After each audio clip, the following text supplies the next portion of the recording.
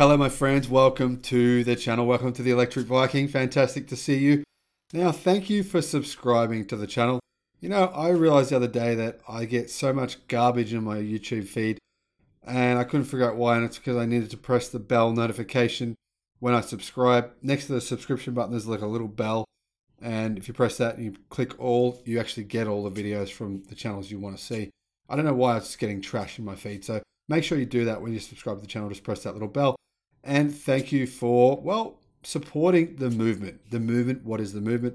Movement is clean energy, renewable energy, clean cars, electric cars, better cars, a better future, better batteries, energy storage, all that stuff. That's what it's about. That's what I'm here for. That's what I want to promote to everyone. So if you can support the channel, whether that's on Patreon or just through subscribing and watching the videos, either way, thank you. Now, Ford are doing some strange things lately. They're saying some good things, doing some strange things. They're a little bit scatterbrained. But, but, they said something that I quite liked. They said that there is iPhone like popularity replicated with electric vehicles. You would think if they're saying that, then they're all in. And you would think if they decided to invest another $11 billion into a bunch of battery plants and EV manufacturing plants and purchase a plot of land, the biggest plot of land in the United States for car manufacturing. It's enormous, astronomically large. I have no idea why they need the acres, hundreds and thousands of, I don't remember what it was, but it was four square miles or something. Massive, massive plant.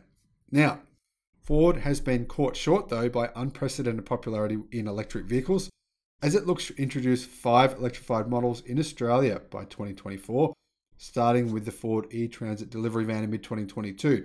Now, the Mustang Mach-E, that's the car we want here. That's the car I think a lot of people want. It's quite a good car. Is it as good as the Tesla Model Y? Maybe not, but it's good in other ways, and it's a great option to have.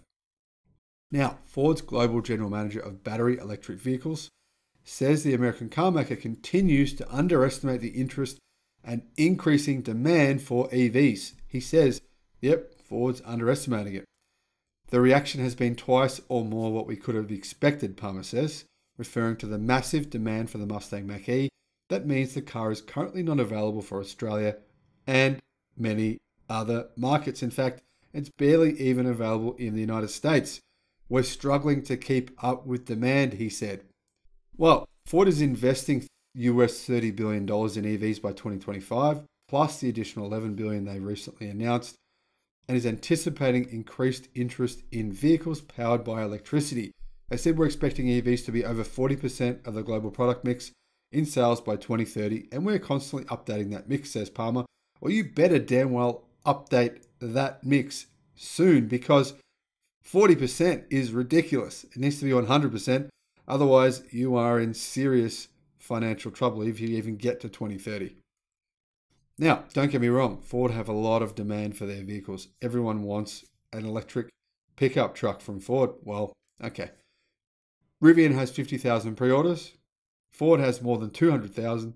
Cybertruck has about 1.3 million. But I think there's a lot of buyers that want the F 150 electric pickup truck. A lot. Ford isn't planning to make that many, though. That's the challenge. Hopefully, they can ramp those up quickly enough to meet demand. He said, Every week that goes past, we see customers that are taking these electric vehicles. Each one they get, they tell 10 family members and friends. If I talk to a customer who has taken one of those electric vehicles, I never met one of them who will ever go back. The only product I ever saw that was 100% people are not going to go back is iPhones and smartphones. And I've been talking about this for a long time. Who in their right mind wants to go back to an old, crappy Nokia 31, whatever they were called? Who cares? Blackberry, whatever those junky things were called. You don't. You just don't go back, do you? It's the same with EVs. Palmer said Ford's strategy has been to apply EV thinking to some of its most iconic nameplates and models, including the Mustang and the F 150. So what's going on right now? Well, I made a video about Ford. Dealers are preventing them from competing with Tesla for a variety of reasons. If you don't know what those reasons are, they are real. I'll put a link in the description below to the video I made about that. It's a whole video's worth of content, so I can't put it in here, but you should watch it if you haven't already seen it. Now, Ford also said that 70% of their Mustang Mach E buyers are coming from other brands. In addition to that, right, the Electrek reported that Volkswagen boasted 144,000 ID3 orders in Europe, and half of those buyers are new to Volkswagen. So Volkswagen saying 50% of buyers are new to us, to the brand. We're poaching 50% of our buyers from other brands. Pretty good chance those people have bought another car before, right? Even if you said 45%. In other words, they're poaching about half the people who buy their car from other brands. Ford's saying they're poaching 70% of people who buy their car from other brands. But is this true? Well, no, it's nonsense. I'll tell you why. Okay. Q3 2021. Ford Mustang Mach E sales were 5,580 in the United States. Now, Ford, the brand, reported 149 vehicle sales in September, down 17.5% year over year, and 1.33 million year to date, down 7%. The rate of decline is lower, which suggests that maybe the semiconductor supply situation is improving.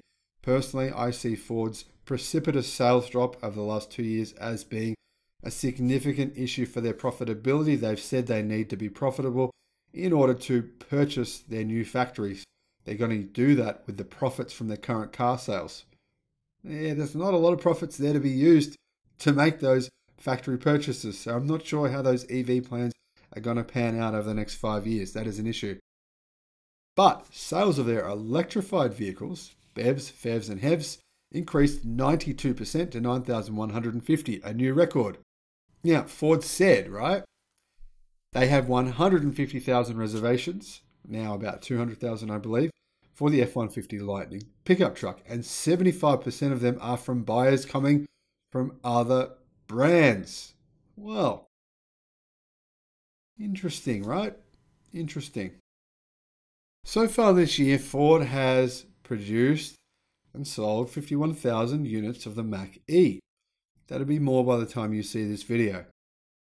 And Ford says they're poaching 70% of their buyers from other brands but they've only sold 50,000.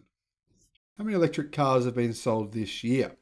BYD sold, well, it sold 71,000 electric electrified vehicles in September. Of those, 40,000 were fully electric. So BYD has sold almost as many electric vehicles in one month as Ford sold in an entire year well, not an entire year, nine months. Let's be let's be reasonable here. What about Tesla? How many electric cars did they sell this year? Where did they poach all of those clients from?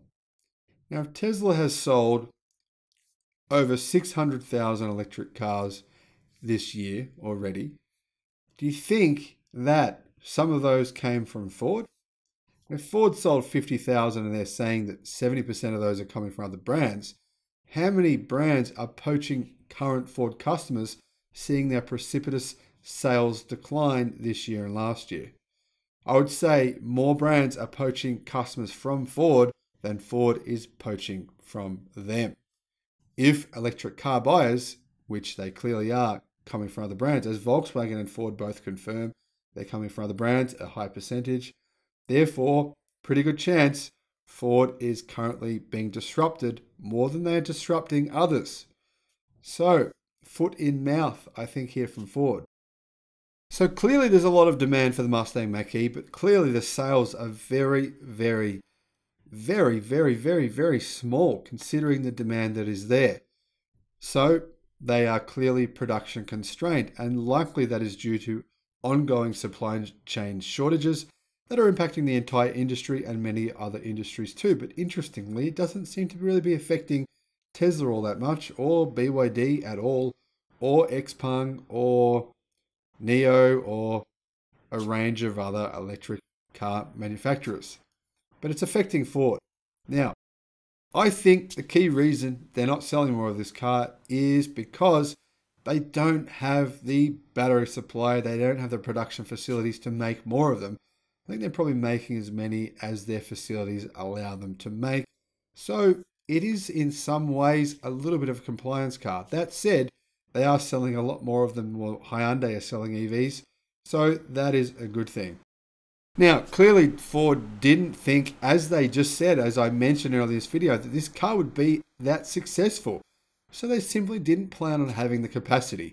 Now, I wonder, when Ford heard, and I'm sure they all saw that Tesla had 350,000 pre orders for the Tesla Model Y back in 2017, did they not know then, four years ago, that there was a lot of demand for electric cars? Really? They really didn't know in 2017? 350,000 pre orders for a sedan. Nobody is even into sedans.